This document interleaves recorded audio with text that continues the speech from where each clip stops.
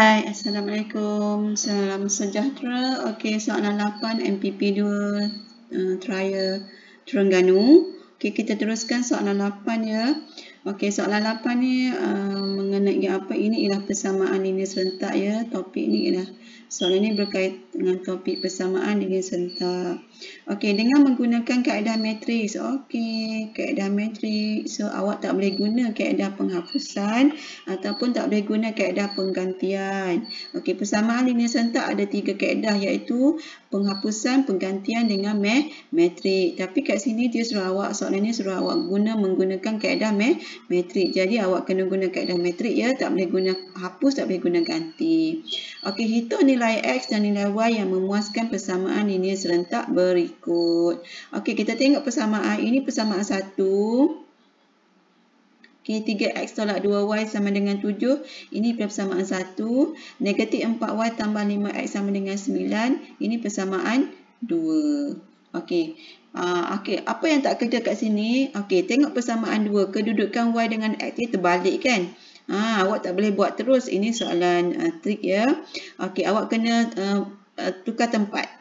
Ha, sebab kita ikut alfabet susunan alfabet A sampai Z, dia mesti kena X dulu baru Y. So, kita kena tukar tempat bermaksud dia ialah dalam rumah yang sama. So, yang persamaan satu ni, persamaan satu ni dia tak berubah apa-apa. Kita tulis je 3X tolak 2Y sama dengan 7. Ha, yang persamaan 2 kita letak 5X tolak 4y sama dengan 9.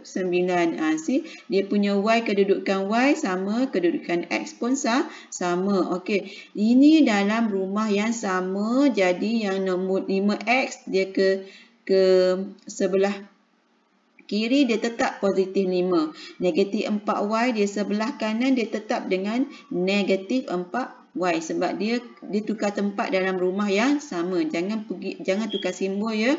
Okey, kita nak guna kaedah metrik. Kaedah metrik kena ingatlah um, uh, dia punya tiga bracket. Okey, bracket besar, bracket kecil dan bracket besar. Ha, kena ingat. Okey, uh, bila metrik awak kena faham betul-betul cara uh, transfer dia dalam bentuk metrik, transferkan nilai dalam bentuk metrik. Kalau salah, salahlah kuranglah markah awak ya. So kat sini 3 negatif 2 5 negatif 4. Okey, lepas tu X, Y, lepas tu sini 7, 9. Okey. Kita kita transfer dia dalam bentuk matrik di mana kita hanya ambil nombor sahaja. Yang nombor yang dua ni kita ambil sekali dia ne negatif. Yang lima, lima, yang empat ni kita ambil sekali yang negatif. Jadi kat sini maksudnya kalau negatif kena tulis sekali. Lepas tu susunan alfabet dia X, Y. Jangan tulis Y, X. Lepas tu uh, sama dengan hasil 7, 9. Ada ramai student yang buat 7 per 9 macam ni. Salah. Okey, salah eh, salah. 7 per 9 salah. Dia 7 9 sahaja. Tak ada, tak ada per. Okey, selesai yang pertama. Awak dapat satu markah. Yang kedua, kita nak nilai XY kan? Kita nak nilai XY sebab dia hitung nilai X dan nilai Y. Jadi, apa yang kita nak tu kita letak kat depan. Kita letak kat depan ya, X, Y.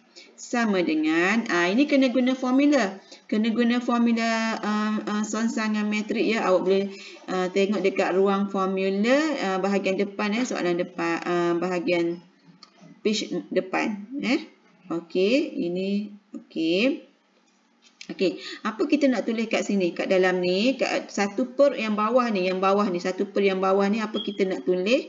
Kita tulis, kita ambil secara si silang. Yang satu per yang bahagian bawah ni, kita tulis silang. Tiga, kita buat bracket. Bermaksud dah darab tutup uh, tolak okey negatif 2 okey cikgu nak padam semula macam tak cantik. Okey cikgu padam semula dulu ya. Okey. Cikgu buat lagi sekali.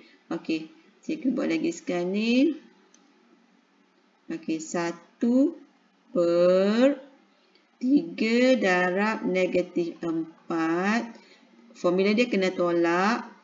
negatif 2 darab 5. Ambil secara silang. Okey, ambil secara silang dekat matrik di atas ni eh. Di atas ni. Okey, lepas tu kita buat bracket matrix.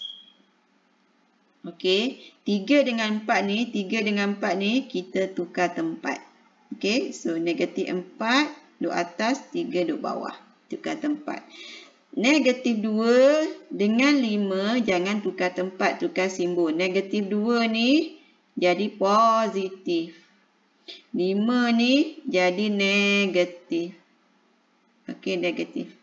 So, apa yang kena buat lagi kat sini? 7, 9, salin je. Okey, salin je 7, 9. Okey, jadi kat sini cikgu sambung sebelah sini. Okey, kita kira.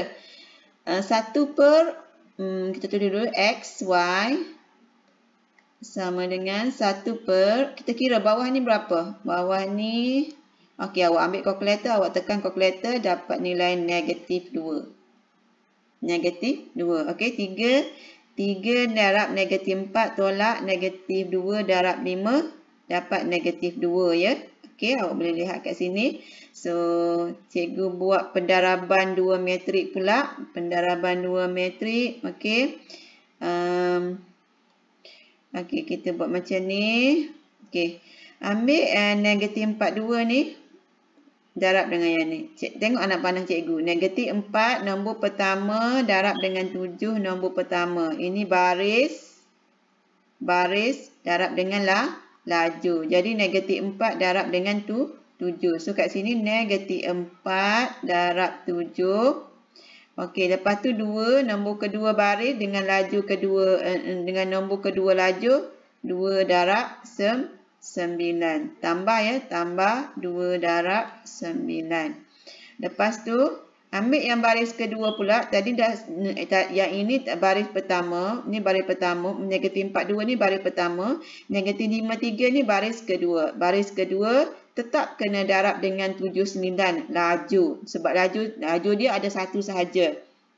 Jadi negatif 5 darab dengan 7. Okey, kita tulis kat bawah negatif 5 darab dengan 7. Kenapa nak tulis kat bawah? Sebab kita ambil baris yang kedua. Jadi tulis kat bawah ya.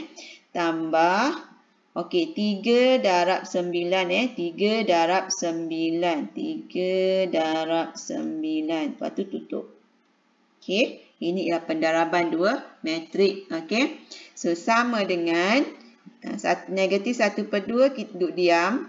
Awak kalkulit yang dalam ni. Bila kalkulit yang negatif 4 darab 7 tambah 2 darab 9. Awak akan dapat.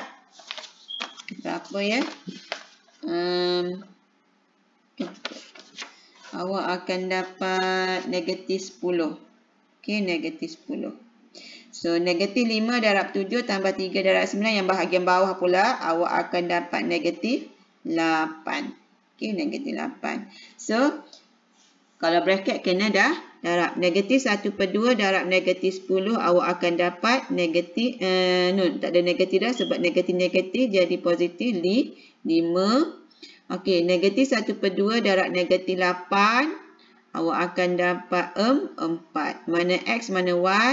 Okey, X ialah 5 yang atas. Y ialah 4 yang bawah tu. So dapatlah uh, full mark dia 4 markah. Okey. Boleh juga guna calculator. Next time cikgu akan ajar guna calculator. Okey, terima kasih.